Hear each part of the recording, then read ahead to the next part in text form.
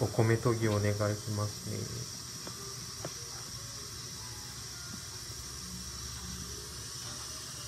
あれ？結構溜まってきますよお水。はい。し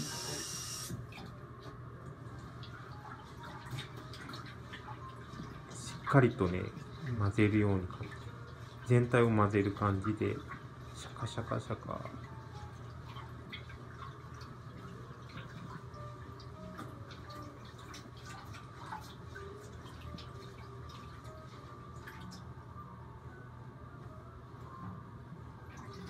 みそさんお米こぼれないようにお願いしますね。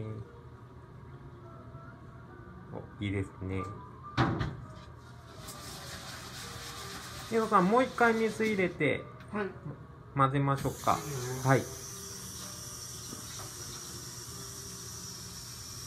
水入れて研がないとねお米の汚れが取れないかもしれないので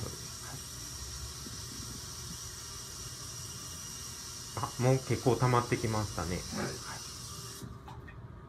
お願いします。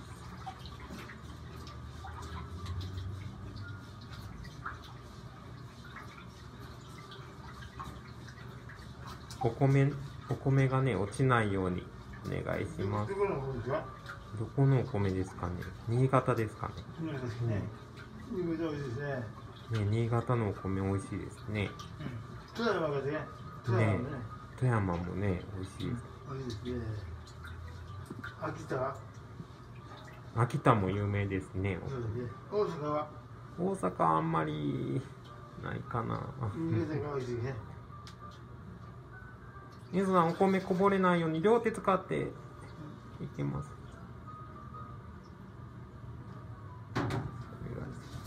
野菜の